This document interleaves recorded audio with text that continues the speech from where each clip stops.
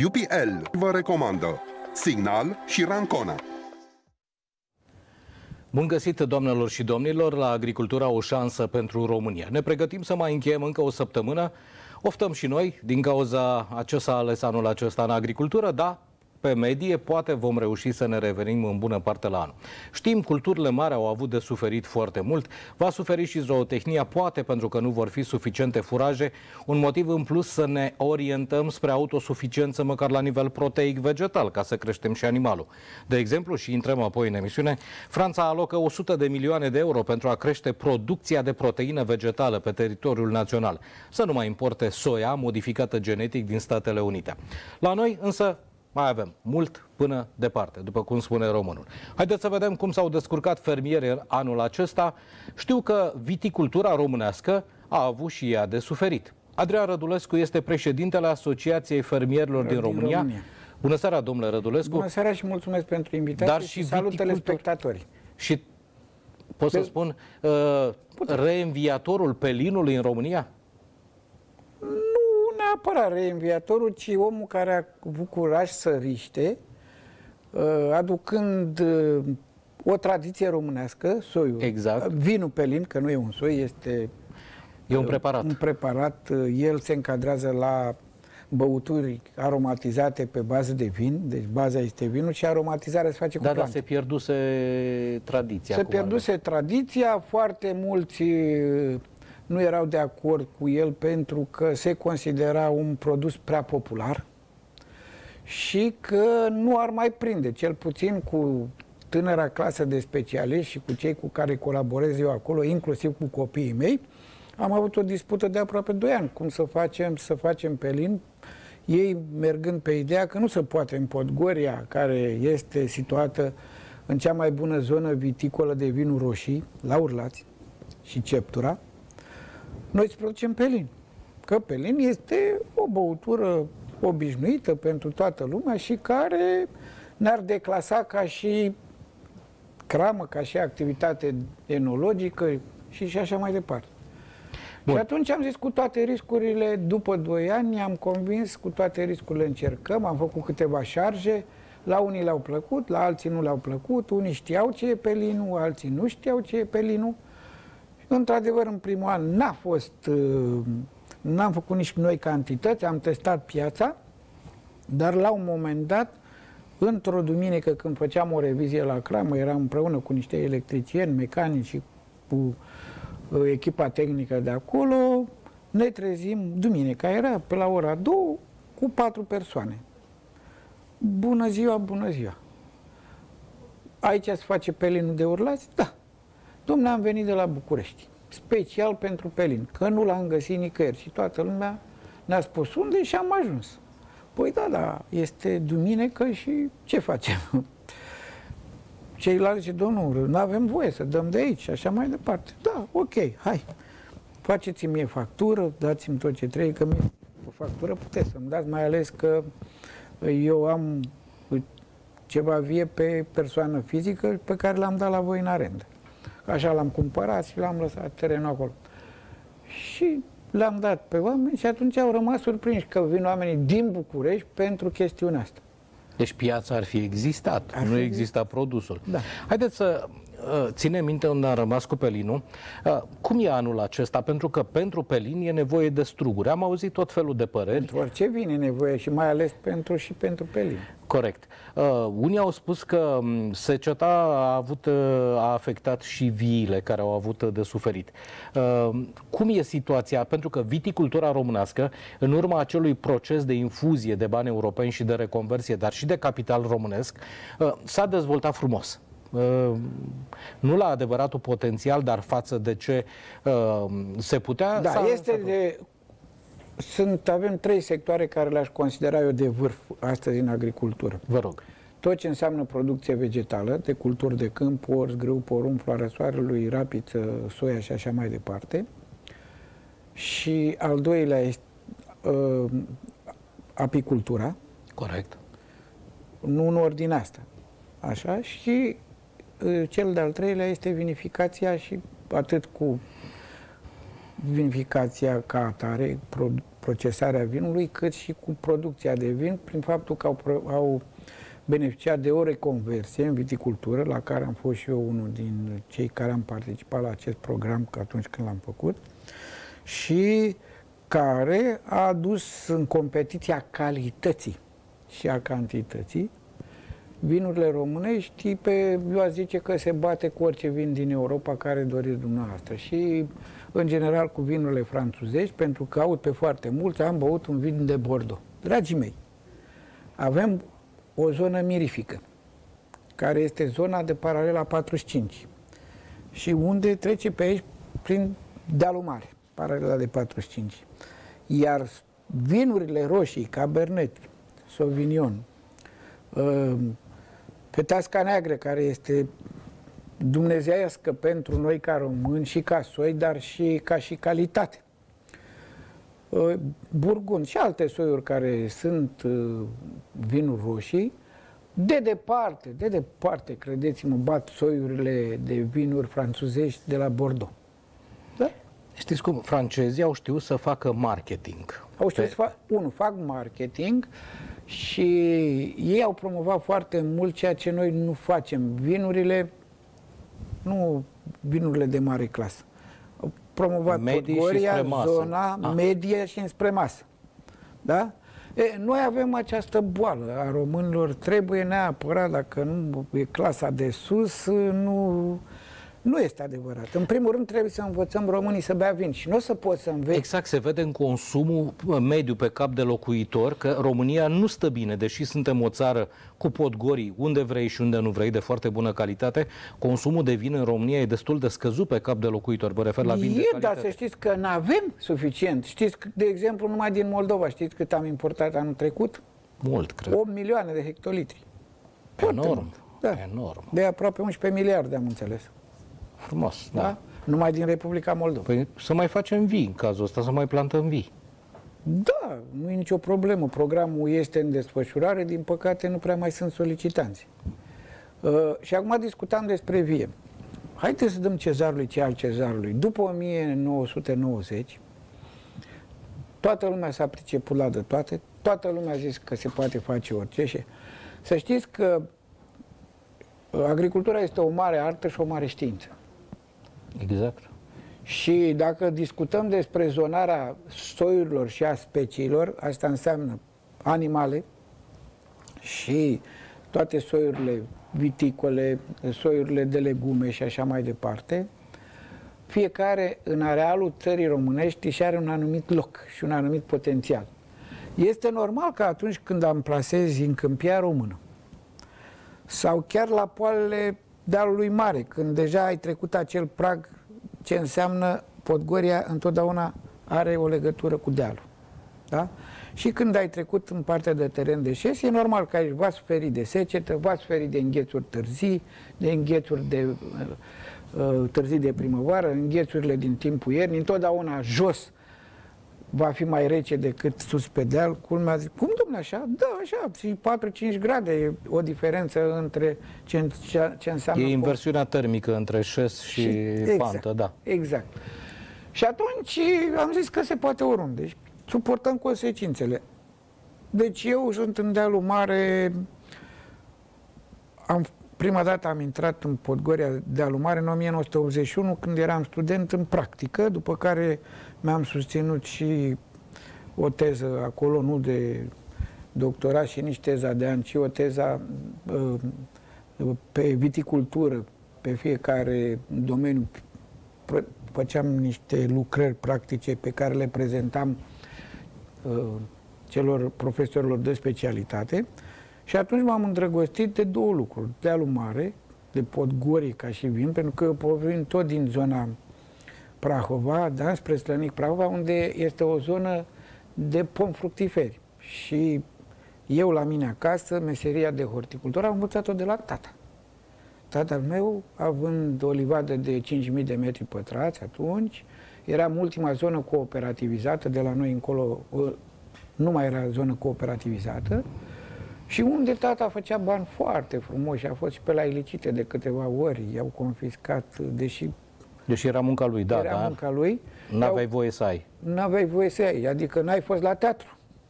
De câte ori ai fost la teatru? N-ai fost la nu știu ce spectacol. Nu n-ai particip fost la brigada în artistică, partea- da? Așa, da? Și mi-aduc foarte bine aminte că, în general, în, în banii de atunci, între 60 și 70 de mii de lei pe an, ceea ce însemna o Dacie, 1300, dacă vă aduceți aminte. Mi-aduc aminte că știu că familia mea a așteptat vreo șapte ani la rând Ah. până a luat Dacia. Și a, acolo am învățat să tai, acolo am învățat cum se recoltează, cum se păstrează, cu beciuri, cu umiditate. Inclusiv și așa. altoirea și toate celelalte, da? Altoirea le-am învățat un pic mai târziu, Mai când târziu. am ajuns student. Că Am altoirea înțeles. se practică foarte mult în pomicultură. Dar în făceați pepiniere focul în pomi- livadă să nu înghețe? Toamna? Uh, nu Că prea fumul am mai avut. proteja. N-a fost nevoie. N-a, f- nu, a fost cât- de câteva ori când am făcut și făceam cu paie la care puneam și bălegar de... Exact, să scoată fum mult ca scoată să fum nu mult. se lase ceața și Exact. uh, promoroaca pe Și ideea pe era pom. pe la 3 dimineața, ne sculam cu toții, dădeam focul, că atunci, între 3 și 5-6 dimineața, aveam problemele cu aceste fenomene naturale. Mă întorc la ceea ce vă Vă rog. Spuneam. Ideea este că trebuie să ne reîntoarcem la știință pentru că se răzbună și natura și știința împotriva noastră. Uh, și eu mor la ora asta, când discutăm despre partidele politice, eu nu pot să spun că e mai bun PNL-ul decât PSD-ul, că e PSD-ul mai bun decât USR-ul și USR-ul mai bun decât PMP-ul și PMP-ul decât UDMR-ul. Da? Eu pot să spun că toți suntem români, că toți am trăit aici și că nu suntem unii liberali, unii democrați, unii și așa mai departe. Nu, nici pe departe. Avem fiecare un mod de a gândi mai liberal, mai conservator, dar cu toții ar trebui să ne iubim România și țara în care suntem și dacă vrem, avem un interes personal pe care fiecare îl are om. Eu doresc fiecăruia care ajunge într-o funcție publică și va fi persoană de decizie, demnitar al statului, ministru, secretar de stat, um, director la o mare companie și așa mai departe, să gândească un business pentru țară în care să regăsească și el integrat. Nu vă uitați vorba? Mă gândesc că cei din Republica Moldova, de unde am importat uh, 8 milioane de hectolitri de vin, au folosit experiența americană și au făcut un brand, Wines of Moldova, da? Există. România nu are un brand de țară pentru vinuri. Oamenii sunt lăsați, în general, bun, mai există... Din două misi- motive. Gata, am înțeles. Dar nu e păcat. Păi, n-au făcut moldovenii pentru că sunt, uh, cum să spun, mai Mai deștepți ca noi? Nu. perspicace decât noi. Nu, i-a obligat viața. În momentul când uh, s-a format Uniunea Europeană și accesul lor a fost limitat către partea asta și au pierdut multe contracte și a pierdut contractele cu Rusia, că de fapt acolo a fost marea lovitură pe care le-au dat-o, șansa i-a obligat să se unească. Să se unească, să-și facă un brand și să poată pătrunde pe o piață mare cum e China, pe o piață mare cum e Statelor Unite, pe piața europeană. Și Pe cea bineînțeles, britanică care a devenit mare consumatoare de vin de câțiva ani, da? și inclusiv în România, dacă mă întrebați. Și noi românii am ajutat tot timpul și i-am considerat și îi considerăm încă, încă o dată frații noștri. Da? Ne întoarcem la ceea ce vă spuneam vis-a-vis că când gândești o chestiune, gândești-o pentru țară și nu te va condamna nimeni să te integrezi acolo. Și eu nu vreau să dau exemplu altora. Eu vreau să dau exemplu meu. Că vorbeam despre viticultură. Sunt lucruri pe care nu le știți și e bine să le știe toată lumea. Era ministru Cioloș la agricultură 2007, eu eram directorul lui de cabinet, am fost împreună la Bruxelles, el a fost cel care a negociat această reconversie, a renegociat-o și așa mai departe, că atunci era, se puneau lucrurile... Da? Iar eu, împreună cu un coleg de facultate, Dumnezeu să-l ierte că a avut un accident cerebral și a murit uh, la... nu și-a văzut visul împlinit prin anul 2006. El viticultor, în dealul mare, director de IAS, atunci au fost retrocetate viile, știți, după legea lup, 1 din 2000. Lupul. Lupul din 2000. Și el, un tip foarte inspirat, când a dat oamenilor respectivele suprafețe de teren înapoi cu vie, el întreba, ce faci? Îl lucrezi sau îl vinzi? îl vând. Dacă îl vindea, îl punea într-o tarla, dacă lucra, îl punea într-o tarla. Și uite așa e agrupat de au făcut zone unde ai putut a să concentrat. Faci, a concentrat și terenurile. ai unde să lucrați individual. Între timp și cei care au zis că lucrează individual, mare parte S-au din ei convins au- că nu e floare la ureche și... și nu e chiar așa de ușor. Bun. Și mă întorc la lucrurile deosebite. Atunci chiar nu știam mare lucru și când am auzit de reconversie și de ce se poate și așa mai departe, am fost foarte la timp și s-a negociat niște lucruri extraordinare în perioada aia. Reconversia în viticultură cu 100% nerambursabil. De-aia astăzi avem ce avem. Iar când la București, Cioloș a înțeles un lucru extraordinar. Că trebuia să găsim o soluție să le dăm și capital de lucru, pentru că era șansa să planteze, să băgăm o groază de bani acolo. Erau banii care veneau de la fondurile europene și o parte din bugetul național, pentru că trebuie să înțelegeți că orice componentă de fond european are și o componentă de o buget cofinanțare națională, bineînțeles. Da. Și, nu dumneavoastră, vorbesc de Am telespectator, ca înțeles. să fac, iertați-mi că am greșit ca și mod de exprimare. Și atunci, uh, pierde și statul, pierdem și aia, pierdem, pierdem, pierdem toată lumea. Și am recalculat chestiunea asta și am ajuns de la o sumă de 10.000 de euro cât era atunci la 13.000 ca să poată să închidă tot cercul și toate Să acopere toate cheltuielile care s-ar fi impus, da. venit cu un program național de dezvoltare rurală în care 50-50 cu cofinanțare 50 de la producător eh, pentru tot ce înseamnă fie modernizare de crame, fie înființare de crame noi. Și atunci toate lucrurile s-au pus la punct. Dacă mă întrebați, atunci, chiar îi spuneam colegului meu, Cristi, eu intru cu tine în chestiunea asta, dar nu vreau să știu nimic, nu mă interesează, eu nu mă ocup de viticultură, eu mă ocup de cultura mare, eu mă ocup de creșterea porților, nu mai vreau și viticultura pe capul meu.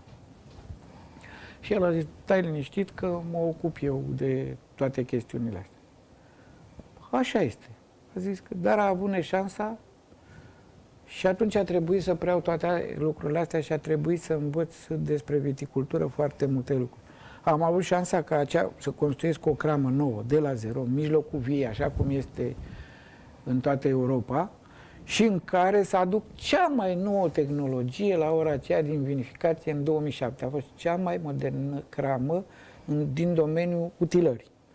Cu temperaturi controlate, cu modul în care vinul se limpezește nu prin tratamente chimice, ci prin îngheț la minus 5 grade a mustului care decantează și deburbează. Se sedimentează, da. Se sedimentează și după aceea este însămânțat cu alte levuri pentru a intra în fermentare. Levuri sunt drojdile, nu? Drojdile, Așa. da. Așa. Și eu sunt nespecialist, de aceea mai întreb ca da, să e foarte înțelegem. bine. E, Și toate lucrurile astea, uh, imediat uh, au venit și mulți viticultori din Europa, care fie au cumpărat, fie s-au asociat cu români și Pe avem în Prahova, pe aici. peste o- tot, da, sunt. Și vreau să vă spun că a ieșit un program excepțional. La ora asta mai avem bani. Deci atunci s-a negociat până în 2024 cu 45 de milioane de euro pe an. Și mai avem până în 2024 și acum am făcut un reprogram, l-am făcut chiar cu Emil Dumitru. A Secretarul de stat Emil Dumitru, dar da. La uh, Timone era PSD-ul, ca să ne înțelegem. Dom'le, Adică se faptele găsesc- bune nu, nu trebuie să aibă acoperire în cularea politică. Exact, asta vreau să vă spun, că nu i-au pus nici alții piedici și așa mai departe. Și sunt multe lucruri care... Pentru că noi- interesul național, că la noi urmă urmei. specialiștii ne-am întâlnit și a trebuit să fim cu toții, pentru că dacă pe politician de... care e de carieră politician, ca să vorbesc așa, uh, îi mai cred că se mai înjură, că se mai ceartă, că, mă rog, au alte chestii. Dar pe cei care sunt uh, profesioniști n-am să înțeleg niciodată. N-ai voie, tu ca profesionist, indiferent ce simpatie politică ai, când te întâlnești cu un coleg de-al tău să te ceri sau nu să nu fii de acord cu el pentru că e dintr-o altă formațiune politică. Cu asta n-am să fiu de acord veci. Asta e o greșeală și o impolitețe foarte mare. Asta e. Da?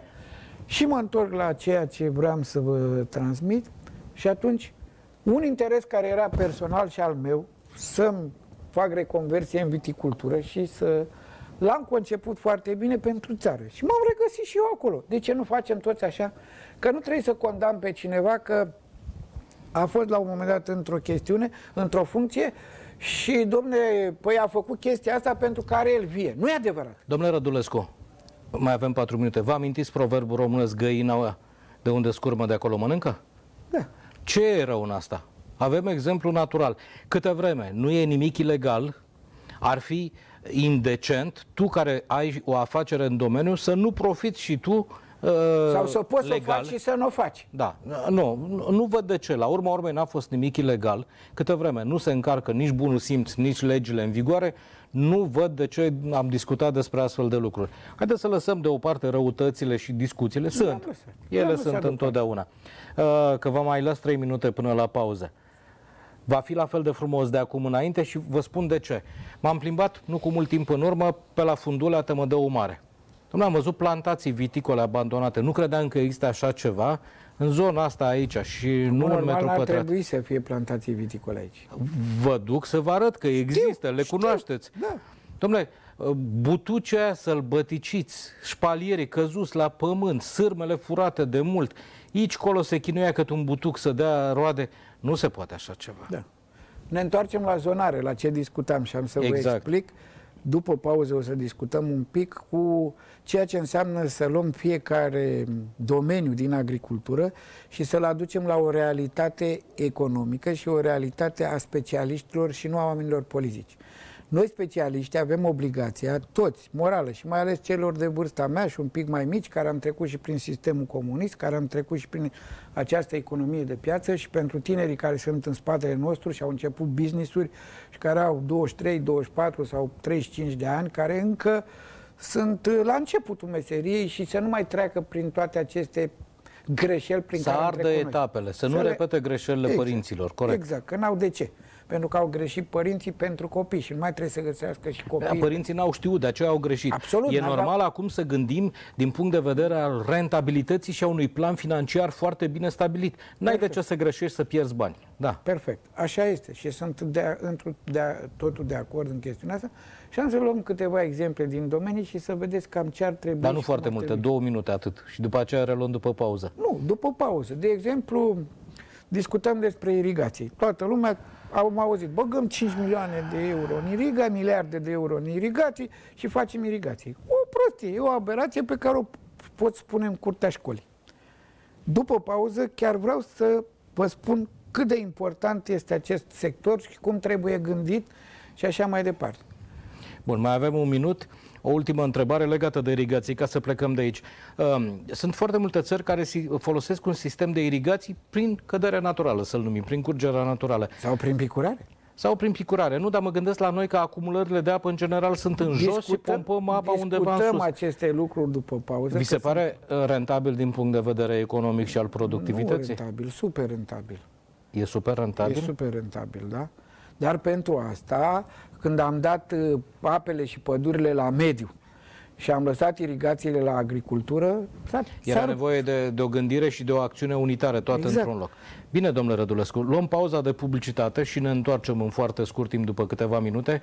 Discutăm la Agricultura o șansă despre România cu președintele Asociației Fermierilor din România, viticultorul Adrian Rădulescu. Continuăm despre nu irigații. neapărat viticultorul Adrian Rădulescu, ci Fermierul, viticultorul. fermierul Adrian Rădulescu. Da, și viticultor, că face spelinul. Ne întoarcem în câteva minute cu Adrian Rădulescu pe curent.